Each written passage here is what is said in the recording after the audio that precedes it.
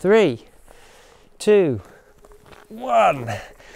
Hello. Um, so this isn't exactly a video we'd ever planned on making. Yeah, the last time you would have seen us would have been in the south of Portugal, living life to the max and enjoying the sunshine. However, this is just a snapshot from the future. That was probably about two or three months ago. Now we're slowly catching up with our vlogs. Um, if you've been watching them, the timeline might get a little bit confusing, but the vlogs are a bit behind where we are now.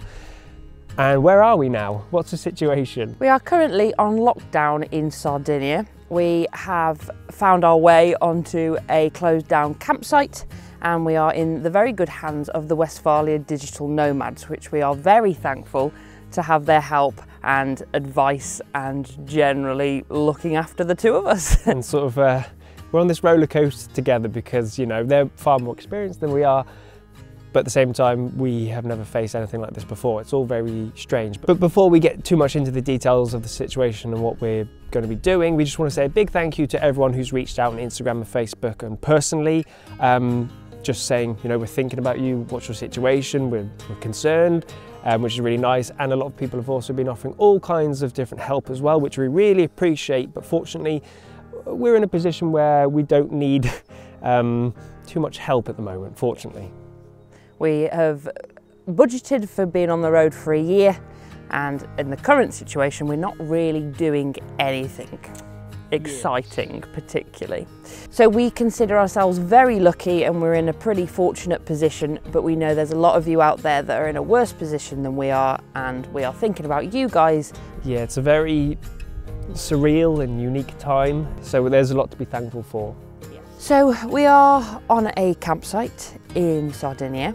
Um, it's on lockdown, so we aren't allowed to leave, but we've got a big garden of campsite to explore. When we met the uh, Westphalia Digital Nomads, there was talk of maybe renting an Airbnb so we could, you know, um, self-isolate in a more um, comfortable, comfortable um, situation. However, uh, with the changing rules, uh, you are no longer really allowed to go outside for anything other than pure necessity. I think that's sort of food and pharmacy.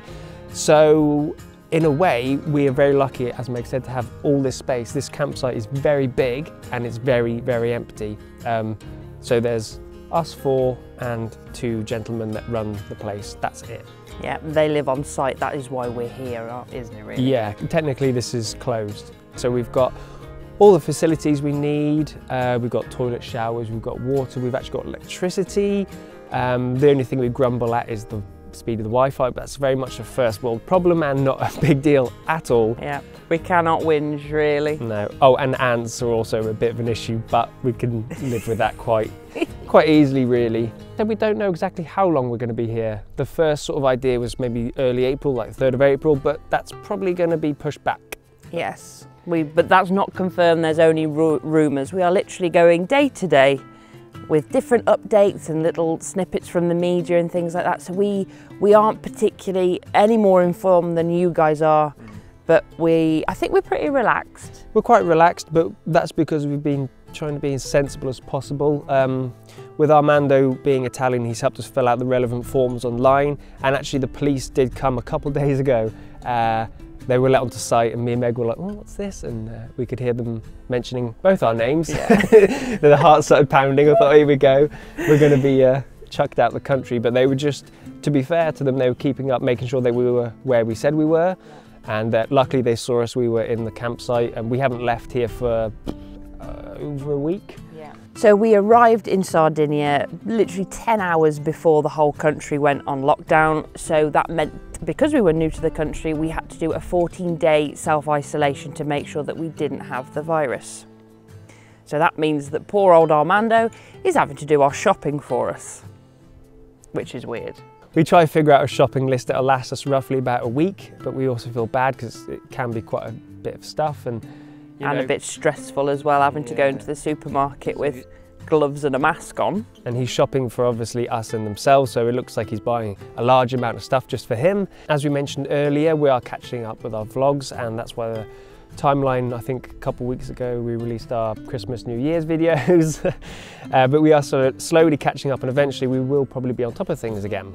Yes, and there will be more information as our timeline continues of what actually happened here in Sardinia, where we were for the first four days, which was beautiful, but we couldn't be there forever, which is such a shame. And we kind of want to know what you guys want from us, really. We've got plenty of time on our hands now.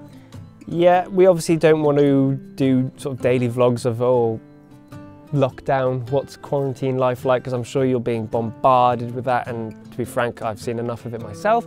If there's anything that you want to see from us or aspects of van life that you want to know about or maybe look at the van again and what spaces are working for us, we'd like you to let us know in the comments section below. So we decided to do this little video just because a lot of people, as we said, have been reaching out and asking what we're up to because obviously it's a weird one, it's a weird situation, people are interested and slightly concerned. We would have done a live stream, however, as we mentioned, the Wi-Fi is probably not up to it and I think it'd be more um, stressful than anything if we're trying to say, you know, we're on lockdown, then the live stream cuts out and people are like, what happened? but if you'd like to know more information or if you want to get in touch, please feel free. Add us on Facebook or Instagram at VW underscore Flora and just send us a message and we will most likely reply because we're not really doing very much. Yeah, there are links down below to make it easy if you want to click on and go to Instagram, Facebook pages. As Meg said, we do reply to 100% of you guys, I think. Um, it just might take a little while because we have to walk over to get the internet. But yeah, we like hearing from you, so feel free. Tell us what it's like outside of these campsite walls, please. So the overall message from us in this video is that we're fine, we're dealing with it the best we can and we're being very, very sensible and we can ride it out for quite a little while. And we hope that you stay safe and sensible too, wherever in the world you may be. Yep, and make sure you look after your loved ones and people around you. Let's think about positivity and kindness. So that's it from us, the Novice Explorers in lockdown camp. We'll see you later.